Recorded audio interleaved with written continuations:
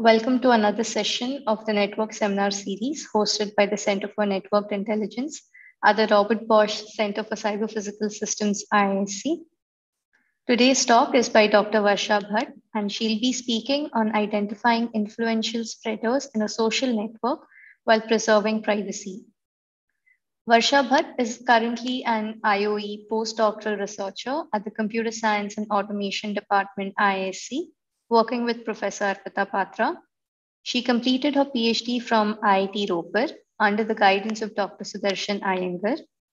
Her PhD thesis was focused on the use of secure multi-party computation to design secure variants of popularly used social network analysis algorithms. In general, her research interests include MPC, social network analysis, and graph theory. Before we move on to the talk, we'd like to request the audience to subscribe to our Google group for information on future talks. You can also visit our website for more details. I'll be pasting the links in the chat box. Please do check. Finally, we request Finally, we request the audience to keep your microphones on silent for the duration of the talk. And for questions, you may ask Dr. Varsha directly. Over to you, Dr. Varsha.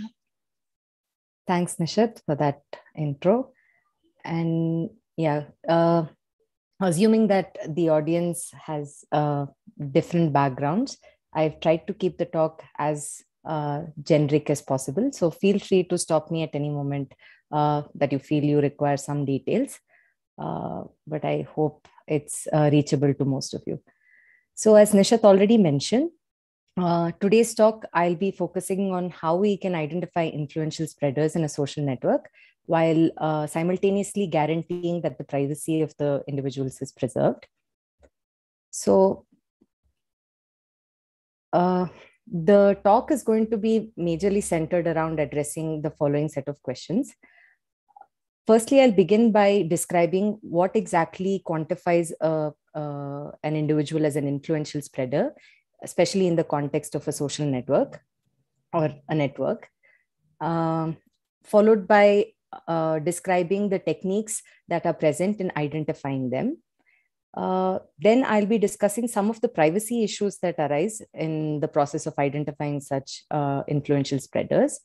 And finally, conclude the talk by describing a brief overview of uh, our solution to the same. So, as most of you must already be aware, uh, several real world systems can be modeled as complex networks, wherein the entities in the system can be uh, modeled as a node in a graph, and uh, the interaction between any two set of entities can be captured via an edge. So, uh, the graph that corresponds to the interaction between the entities in the system is what is commonly referred to as a complex network. So there are a variety of uh, networks that are commonly studied. For example, uh, you can consider different social networks, or let's say biological networks, such as the network of the brain. And uh, you can also consider something uh, like the chemical interaction network. Despite having such a variety of networks, the process of uh, spreading of information or diseases over or uh, reaction over these networks is a commonly observed phenomena for example, it could be the spread of rumors when it comes to social networks and uh, the spread of, let's say, neurodegenerative diseases in the brain network. Uh, because we'll be focusing on privacy issues, uh, the major focus will be on social networks because a social network models uh, social entities such as individuals and uh, the interactions is what is considered sensitive. I'll describe more uh, about the privacy issues later. But the highlight is that we'll be focusing on social networks for today. Given such a social network, the first step is to identify who exactly is an influential spreader. In the current situation of COVID, uh, let's consider this question in the context of a contact network. So let's say you're given a contact network, which basic, basically captures uh, who came in contact with whom uh, let's say in the past one week within IISc, uh, given such an information uh, or given such a network, uh, uh, an individual would quantify to be an influential spreader if such an individual is infected he can he or she can cause a cascading effect in the spread of the disease within the IISc community. So such a person would be qualified to be called an influential spreader. So clearly, uh, the influence a, a, person has in this contact network would depend on the placement uh, of that person in the overall structure of the network right? If that person is well connected to several important individuals and if infected he's capable of uh, spreading it to more people who come in contact with others. That's the whole idea. Um, so in general whenever you're given a complex network uh, a node is said to be an influential spreader. If it is capable of maximizing or controlling the spread of uh, information or disease or whatever uh, is the spread that you're considering on the underlying network. I hope that idea is clear. So there are several techniques in the literature to help identify such influential spreaders, but today we'll be focusing on one such technique, which is known as uh, centrality measures. So centrality is an umbrella term that refers to various algorithms that uh, that basically take into uh, account or that basically take into account the network topology and quantify the importance of a given node based on the structure of the network. So since the notion of importance can be different in different application scenarios, different centrality measure algorithms have been proposed, wherein each considers a specific structural property and based on the property considered, it ranks the nodes accordingly. So in general, a centrality measure could be defined as an algorithm that takes the graph as input and ranks the nodes based on some particular structural property of the underlying graph. So there are several uh, centrality measures that are commonly used. For example, uh, the simplest among them is the degree centrality. Here, the notion of importance of a node is captured uh, using the number of edges that are incident on the node.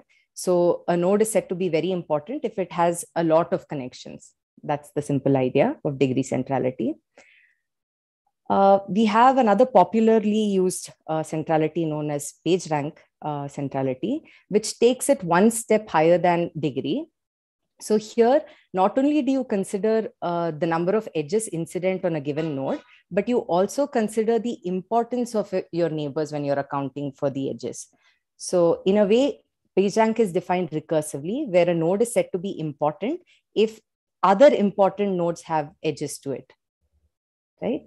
Uh, yeah. And another popularly used centrality measure is known as the K-shell decomposition uh, algorithm, which basically looks at iteratively decomposing a given graph into shells and the key idea is to identify the innermost no, uh, uh, nodes that belong to the innermost shell, which is also referred to as the core nodes. And um, empirically, it has been found out that these nodes tend to be the most influential nodes in the network.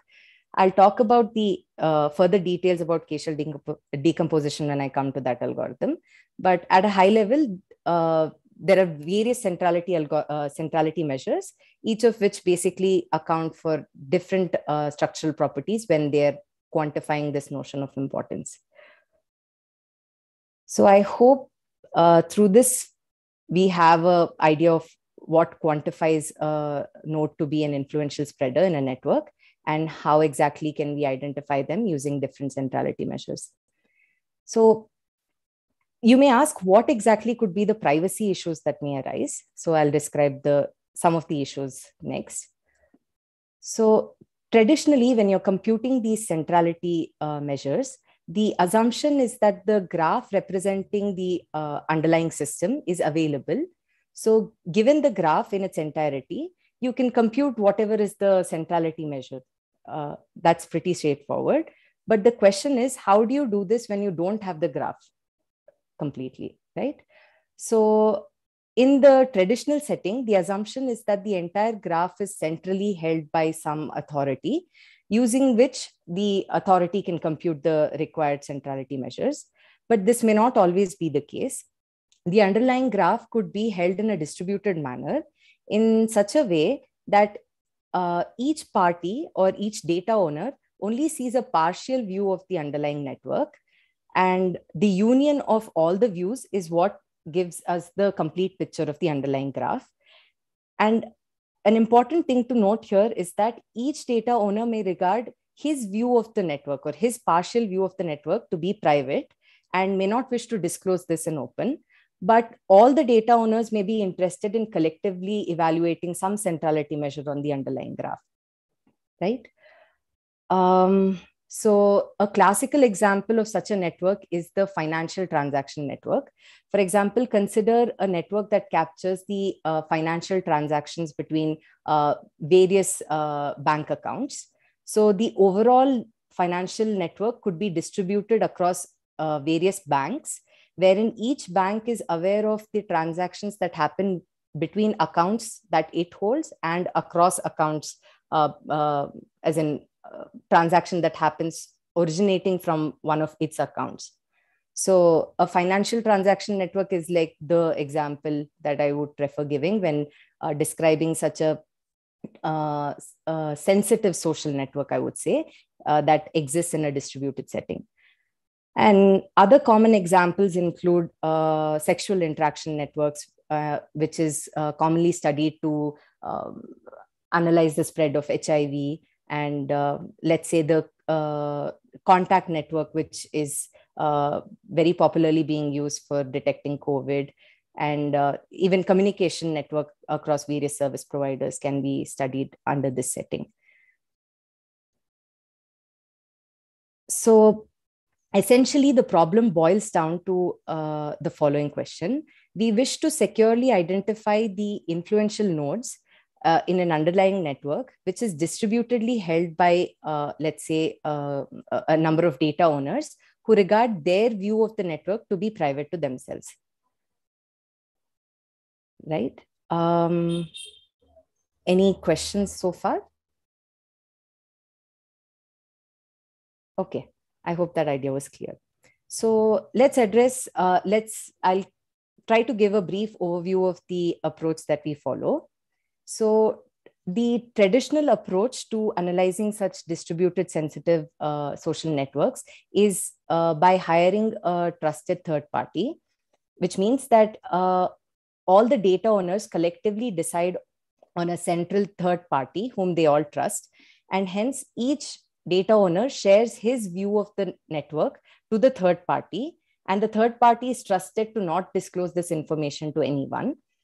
Having obtained the share of data from all the data owners, the third party has enough information to construct the underlying graph using which the centrality measure, uh, the desired centrality measure can be evaluated and the output of the uh, computation can be directly communicated to the data owners. This is how it's traditionally being analyzed. But uh, as one can see, there are several issues uh, in relying on a TTP or a trusted third party based approach. The first being that uh, it's very difficult to find such a trusted third party in every system uh, who can be trusted to not disclose this information. So the data owners may not be comfortable in even participating in uh, the computation. Uh, that's mainly because the trusted third party in the process learns the entire graph on clear, right? Which is essentially what we want to avoid. Uh, and because the trusted third party sees this on clear, it becomes a single point of compromise. So ideally, what is desired is for the data owners to be able to uh, receive the output of the computation without them having to disclose their private data to anyone. So although this seems uh, paradoxical, there are several privacy enhancing technologies that are present, which allow us to uh, achieve this objective. So the solution that we fall back on is uh, uh one of uh, is one such cryptographic solution, which is known as secure multi-party computation or MPC, which was initially introduced by Yao. And the high-level idea of MPC is that it allows any, um, let's say, n set of uh, mutually distrusting parties to perform some computation on their private inputs in such a way that uh, if an adversary controls at most T parties among the set of computing parties, he is unable to learn any additional information apart from the output of the computation. Just to make that statement uh, specific to the case of, let's say, uh, five parties. Let's assume we have a system where there are five parties, wherein each party PI has some private input Xi, and all of the parties are interested in computing some predetermined function, let's say F, uh, that has uh, uh, F as a function of the private inputs. And MPC basically allows us to design protocols that uh, the parties can follow in such a way that at the end of the computation, each party learns nothing apart from the output, which is y. Right? Uh, yeah. So in the context of securely evaluating centrality measures via MPC, the following would be the setting. We assume that each data owner has a subset of the edges as its private information so I'd like you, uh, I'd like you all to note here that we consider the simplistic case wherein we assume the set of nodes that belong to the system is uh, known to all the data owners. It is just the presence or absence of an edge between uh, two nodes that is considered as the private information. And uh, the global function or the predetermined function that the data owners are interested in computing is modeled to be the uh, centrality measure that uh, they are interested in evaluating. So basically the output should be the ranking of the nodes of the underlying network. And specifically in our case, we fall back on a two-party setting. By that, I mean that the data owners distribute their private data among two computing parties in such a way that each party individually does not have enough, does not learn any information about the input. And the two computing parties uh, are responsible for performing the MPC protocol to securely evaluate the centrality measure. And the output of the computation is communicated back to the data owners. And the security model that we considered here was that of a semi-honest adversary, wherein uh, we assume that the computing parties P1 and P2 uh, do not collude with each other and follow the uh, sequence of uh, steps that are uh, determined according to the MPC protocol. So they don't deviate from the protocol and neither do they collude with each other. That's the underlying assumption under which security is guaranteed. Okay. Um, so I'll majorly be focusing on the K-shell decomposition algorithm for the rest of the talk. And the ideas that are described here, uh, similar ideas that are described here will be applicable even to the other centrality measures. So please feel free to stop me in case you don't uh, follow something. So the K-shell decomposition algorithm was uh, first proposed by Borgatti and Everett. And the idea is to iteratively categorize nodes in a given network into shells. And, uh, and the key idea is to identify the innermost nodes. So essentially, the K-shell decomposition algorithm focuses on identifying a close knit group of nodes that are also well connected to the rest of the network. So I'll describe the plain text algorithm or the clear text algorithm for K-shell decomposition. That is the traditional algorithm uh, that can be run when you have the entire graph. So we begin by considering a simple graph uh, and a simple connected graph.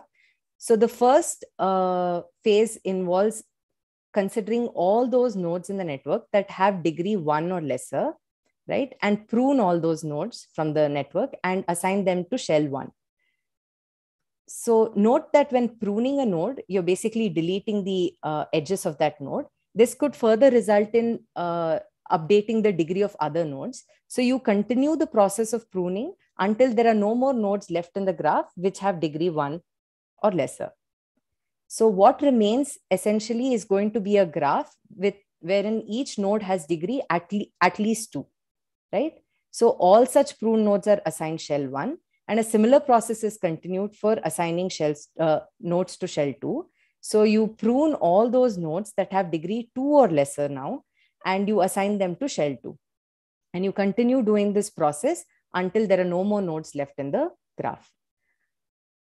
Um, from the description of the algorithm, I hope that it's clear that the sequence of operations that you would perform in, in this process of assigning nodes to shell uh, depends on the underlying structure of the graph right? The the um, number of times you would prune to assign nodes to shell one would depend on the structure of the underlying network So I'll try to make this clear by going over the uh, exact pseudocode for the same. So you begin basically by determining the degree of each of the nodes. Since the degree of the node can range between 1 to v minus 1, where v is the set of uh, total possible uh, nodes in the network, you consider each possible degree and uh, basically perform the following sequence of uh, operations. You look at, you find a node which has degree uh, i, and you assign it to shell i, and you basically prune the node which is basically deleting the node and update the degree of its neighbors. And you keep doing this until there are no more nodes left with degree uh, less than or equal to i, right? So uh, what I meant when I said that the sequence of operation depends on the input uh, graph is that the number of times, let's say this while loop is executed depends on the structure of the input graph, right? So this is why the algorithm is not set to be data oblivious because the sequence of instructions is clearly dependent on the input. So formally stating, an, an algorithm is set to be data oblivious if the sequence of instructions and the memory accesses made during the, uh, during the run of the algorithm is independent of the input. So clearly the K-shell decomposition algorithm, the traditional algorithm, does not uh, fall, un, uh, fall under the category of a data oblivious algorithm. So to give you an idea of what information is leaked during the run of the algorithm, uh, let's, yeah, I'll basically describe the uh, information that's leaked. Uh, but I want you to understand that this information can be gathered by an adversary who is just looking at the run of the algorithm. By that, I mean, let's say that the underlying graph uh, let's say in the form of an adjacency matrix is encrypted and stored. And the adversary is just able to view the execution of the algorithm and not the underlying graph as such. So in even in that case the run of the algorithm itself is capable of leaking let's say the number of shells that are uh, that a given graph is decomposed into as well as the number of nodes that are assigned in each shell. Uh, since we selectively update the nodes who uh, nodes of the as in since we selectively update the degree of the nodes uh, for as because you consider only the neighbors of the pruned node this also leaks information about the neighborhood of the current node that was pruned. So ideally what we want when we design a privacy preserving variant is to be able to store and access the graph in a data oblivious manner as well as have the instructions such as the looping construct or the steps in the algorithm uh, to be made data independent.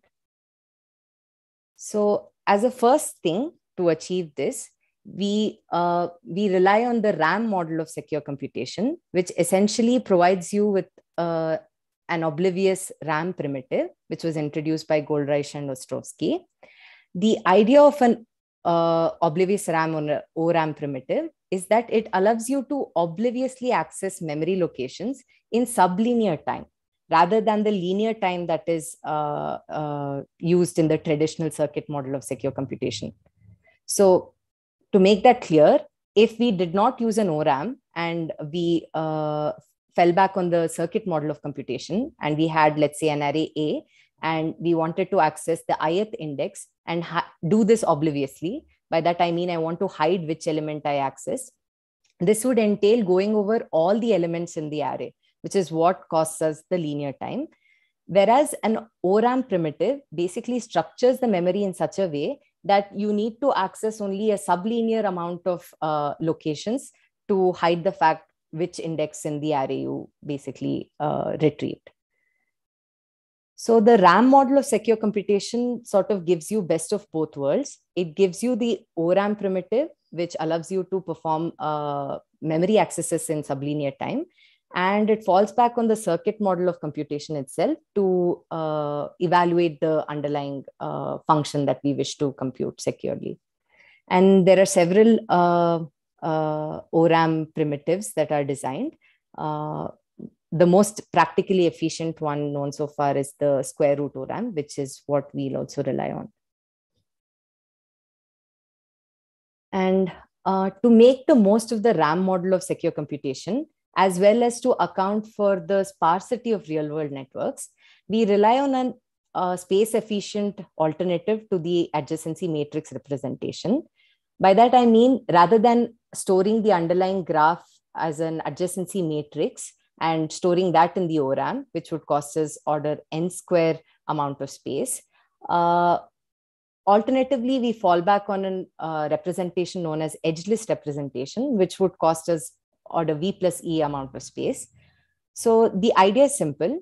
Uh, the edge list representation consists of two lists, E and IDX. And um, assuming that the nodes in the network are numbered 1 through n, the list E stores all the neighbors of node 1, followed by all the neighbors of node 2, and so on. And the list IDX essentially uh, stores the index of um, the last neighbor of the first node, followed by the last neighbor of the second node, and so on. So the entries in the list IDX act as a delimiter uh, to identify where the neighborhood of one node has ended. Right? Uh, so in our uh, in securely evaluating, uh, let's say, some uh, centrality measure, we store the underlying graph in this edge list representation, wherein each list E and IDX are stored as individual ORAM arrays.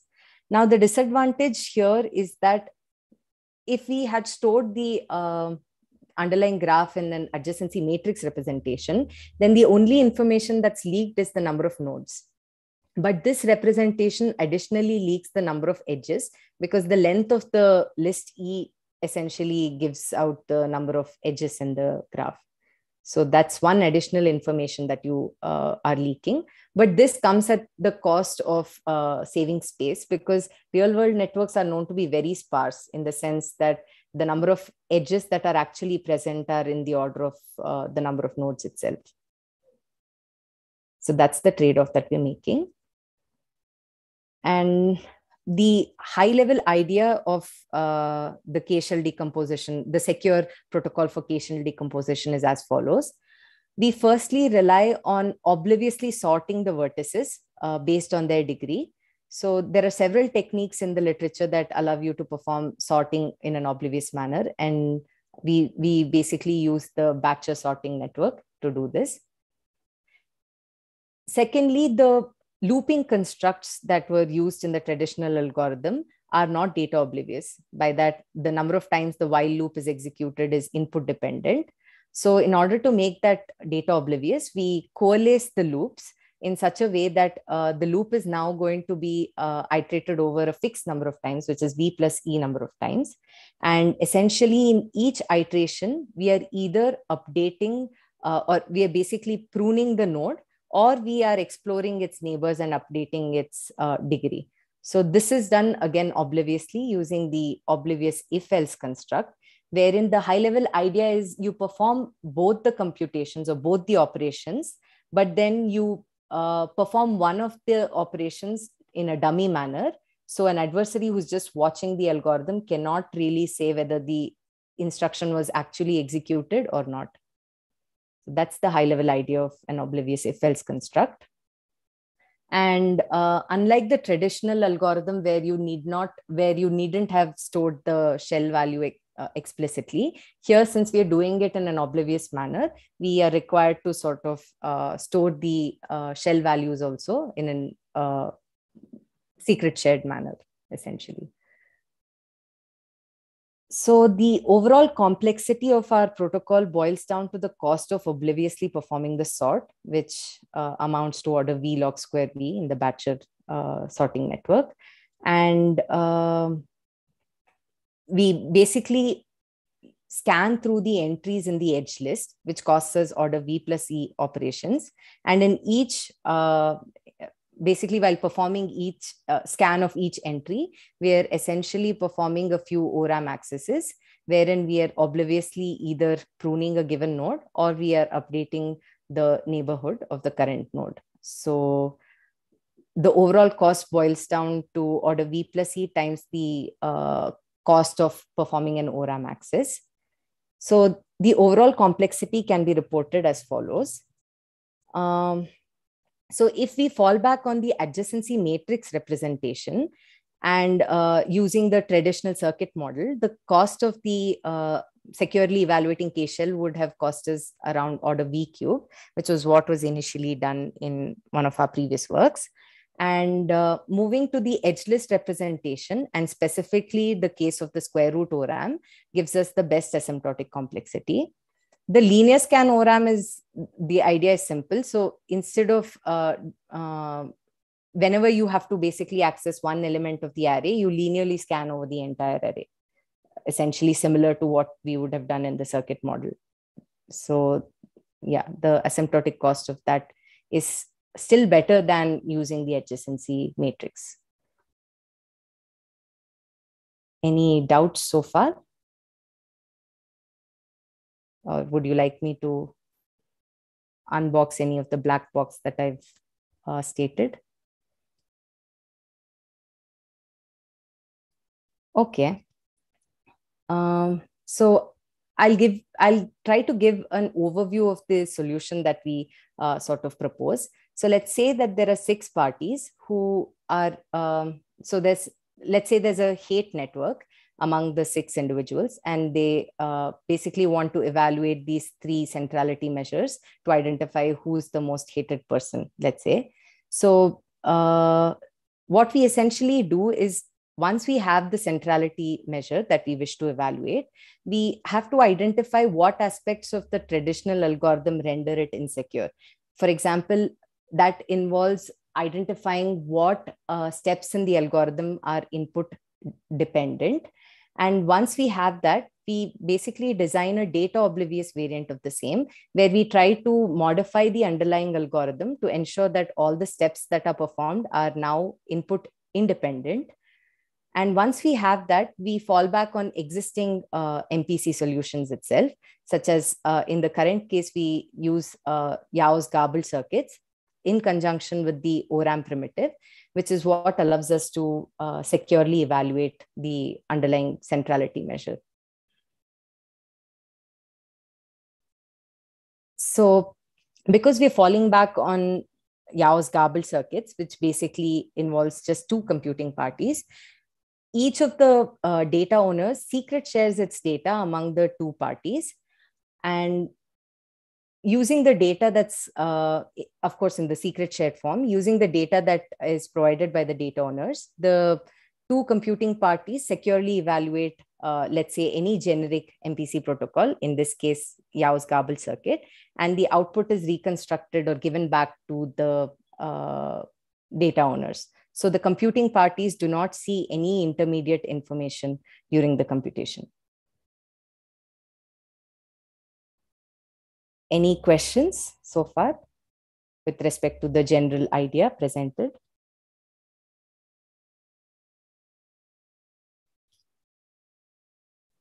Okay, if there's no questions, then uh, okay, I'll I'll probably not go into the details of uh, how exactly each of the centrality measures are made data oblivious. But i'd like to use the time to sort of describe what are the aspects that are that render the traditional algorithm insecure. So for example consider the pagerank centrality measure which was introduced by uh, larry page and uh, others as a measure to uh, rank the importance of web pages. So uh, the traditional algorithm for computing pagerank centrality is uh, what is known as a random walk method. So I'll briefly describe what the random walk method involves. Okay, so given a graph, the random walk essentially involves taking a random walk on, or you basically start off with a random node and you keep hopping onto uh, um, your neighbors in a random fashion. And when you're doing this, you keep track of the number of times you visit a given node. So that's the overall idea. And, um, and the node that has uh, the highest uh, count, visit count, is as in the visit count of a given node is directly proportional to its page rank, and that is well established. So what we essentially do is we pick a random node, let's say node one, and increment its count, visit count, uh, set initialize its count. All the uh, visit counts are initialized to zero. So when you first visit node one, you set it to one. And then you basically have to emulate a coin toss, which could result in a head or tail. And let's say the coin toss resulted in a head. this means that you basically consider all the neighbors of the current node and you randomly hop onto one of the neighbors right let's say node 5 was the neighbor that was picked and hence you increase the count and you carry you repeat this process of uh, tossing a coin to decide which node you will next hop onto. So in case the coin toss results in a tail then all the nodes in the network become uh, equally likely to be the next node that you wish to hop onto. So this process of tossing a coin to decide which node you'll hop onto and incrementing the count of the node that you're going to is what uh, the random walk method of PageRank essentially involves, right? And um, I, the description of the algorithm, I hope, uh, made it clear that you essentially perform operations that are input dependent. That is, uh, the sequence, the next hop depends on where you are currently and how many neighbors that node has, and also on the output of the coin toss. So this is something that's clearly very dependent on the input graph. So for PageRank centrality, we uh, use an alternative approach, which is the iterative approach that is more data, ob- as in that's more friendly for uh, having a data oblivious variant, I would say. And the high level idea for uh, the PageRank centrality via the iterative method is as follows. So you initialize the page rank value of each node, let's say to be one initially for all the nodes. And uh, in the first iteration, what you do is each node uh, distributes some fraction of its page rank equally among all its neighbors. So, for example, uh, a fraction of node one's page rank is going to be distributed to two, four, and five right? Similarly, every node distributes a fraction of its page rank, a predetermined fraction, I would say. Each node uh, distributes a predetermined fraction of its page rank among all of its neighbors equally, followed by the remaining fraction is contributed to a common pool. Uh, and the total page rank that is collected in the common pool is distributed equally among all the nodes in the network. Okay, this, uh, so this is what entails the operations in one iteration. And uh, having performed this iteration, we perform a, a page rank update wherein uh, the page rank of the node would be the total page rank it receives from its neighbors as well as from the common pool, right? And this sequence of perform redistributing its uh, page rank among its neighbors and to the pool and computing the updated page rank is repeated a fixed number of times and this is what entails a iterative method to computing page rank so the idea remains similar. We we basically store those arrays which have data dependent accesses as an ORAM array. And uh, the number of times the page rank update rule is performed should be fixed and predetermined. And every looping construct again is uh, need to be fixed. Uh, so essentially we have two looping constructs for the page rank algorithm. One that scans over the uh, list of all entries in the edge list to perform the redistribution. And uh, another loop that uh, goes from 1 to v which basically accounts for the uh, redistribution of page rank via the common pool.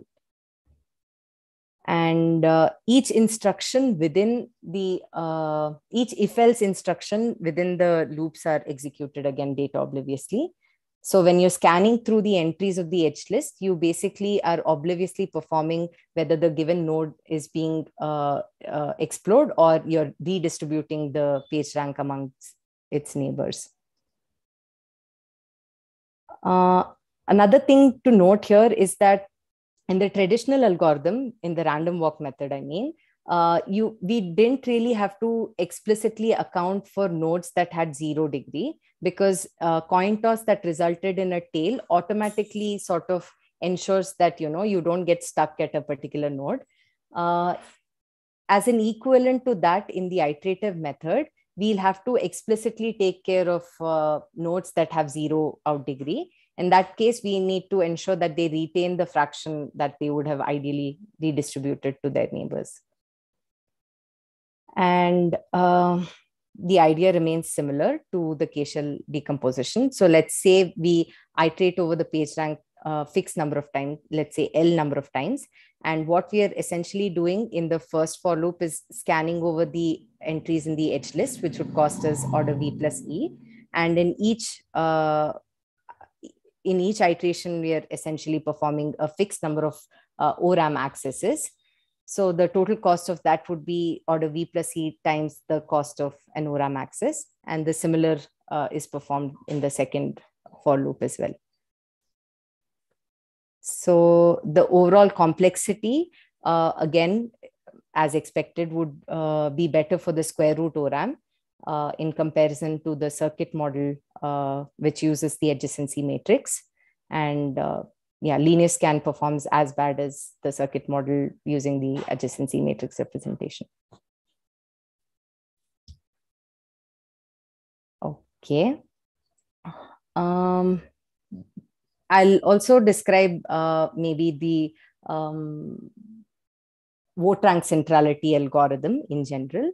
So it's very similar to the page rank centrality, but the idea, uh, but the idea uh, that the authors had uh, when proposing this is that they wanted to sort of um, reduce the overlap in the neighborhood of uh, the nodes that are picked to be the most influential nodes, right? So you want to pick uh, the top uh, most influential nodes from different neighborhoods. That's the high level idea that they had when proposing this centrality measure. So each uh, node basically has a voting ability and a score. So the score of each node is uh, computed as the sum of the vote uh, uh, votes that is provided by uh, the nodes that have incoming edges to the considered node. So for example, if you consider five, five has incoming edges from two and one. So it would basically score of five would be the sum total of the votes provided by node one and two. And uh, the high level idea is as follows. Initially, all the nodes have uh, uh, the voting ability set to one and the score set to zero. And in every iteration, each node votes for its neighbors uh, equally. So, for example, uh, one votes for five as well as for two, right? So, and you compute the score of all the nodes and you pick the uh, first most influential node to be that node which has the highest score. Now, you want to ensure that the next node that you pick to be the most influential node to not belong to the neighborhood of four. So what we essentially do is readjust the voting ability of its neighbors. So we reduce the voting ability by a fraction, predetermined fraction f, let's say, for all those nodes that voted for the top ranked node. And we repeat this process k number of times if you want to pick the k most influential nodes. So again, this sort of has uh, data dependent operations that are being made because uh, the nodes whose voting ability is updated depends on the node that uh, is picked to be the most influential node in that iteration. And that would again depend on the input structure. So the high level idea is to identify basically what uh, steps in the algorithm, traditional algorithm, uh, are what render it insecure and design a data oblivious equivalent of the same and once we have that, we it's uh, quite straightforward to use secure multi-party computation to evaluate the same. Uh, in conclusion, I would like to say that um, although I spoke about uh, privacy issues with respect to social networks, it's applicable to any network that is sort of distributedly held and uh, when the parties regard their share of the network to be private. For example, uh, uh, it could be like a genomic uh, network as well, wherein let's say uh, one company has the genome interactions for some set of nodes in the overall structure of the interaction network, whereas another company has a different set of interactions recorded and they want to collectively evaluate something. So it's not just applicable to social networks, it's applicable to any network that is sort of distributedly present. And I spoke about the protocols in the two party setting, and it, but it's, uh, there's nothing specific to the two party setting as such. So it can be easily extended to any N party MPC protocol. And uh, this approach of designing a data oblivious algorithm and the black box use of MPC allows us to sort of plug in uh, the most efficient MPC protocol and uh, get the best results. And um, representing the underlying graph as an edge list in conjunction with using an ORAM gives us a space efficient uh, alternative rather than having the adjacency matrix representation. Yeah, that would be it. And I'm open to any questions that anybody has. Thank you, Dr. Varsha, for an informative talk. We can take a few questions now.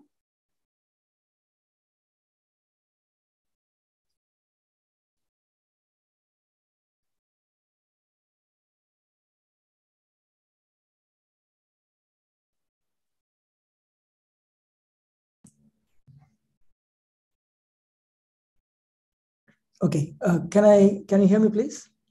Yes. So basically, your algorithm is taking control of control parameters. Is that true, or uh, you're not looking at the data per se? You're looking only at the control uh, parameters of the algorithm. Uh, could you be a little more specific as to what example, you mean by looking at uh, and uh, for example, the number of edges, or number of uh, so basically these are all you might call it as control parameters. Okay, not the data per se. Okay. Is that true? Uh, so, to some extent, I would say yes, hmm. uh, because there are. So, for example, even if you store the uh, underlying graph as an adjacency matrix, you you still can't uh, ensure that you don't leak the number of nodes at all, because uh, certain things are unavoidable. I would say so, and we try to basically hide as much information as possible. Mm-hmm because I see, uh, for example, if you think about uh, differential privacy, for example, those kind of models, they are right. mangling the data. Okay? So uh, to do something. Right. Here is the case where you are trying to keep the, in some sense, the control parameters algorithm itself slightly. Exactly. Yes. We don't. Yeah. Synergy I, between two methods. Is that true? Is there a good synergy between the two? Uh, sorry, I lost you in the middle. Is there a good synergy between the two methods? Uh, I think both the methods are important because here we are not really manipulating the underlying data. We are focusing on uh, what does the algorithm in itself leak, right? So essentially, I think if you want true privacy, it would be a great idea to uh, have both differential privacy included as a part of the algorithm as well, because here we don't really um, care about uh, what is leaked from the output of the algorithm. We're... So, for example, if you had some edges between uh, uh, one, uh, the node one to two, three, and 5 mm-hmm. so basically, probabilistically, instead of uh, connecting to three of them, mm-hmm. connect sometimes to four, sometimes to two, for example. Uh, right. That will be the data versus the differential privacy kind of perspective, I suppose. Okay. And uh, on a larger graph, I suppose you can get some interesting way in which you can mask the data also to an extent. Uh, that is true. Yes, I agree. Okay. Thanks. Yeah.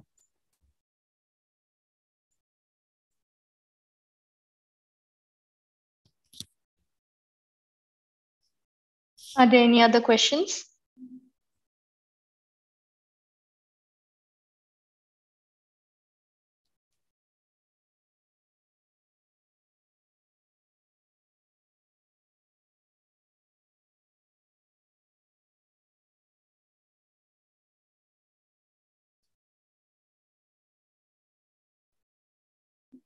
Okay, if there are no other questions, then we can wind today's uh, session here.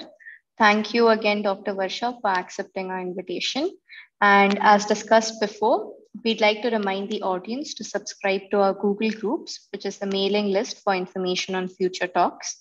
You can also visit our website for more details. The links have already been pasted in the chat box. The link to the recorded video will also be posted on the webpage. Thank you and have a great evening.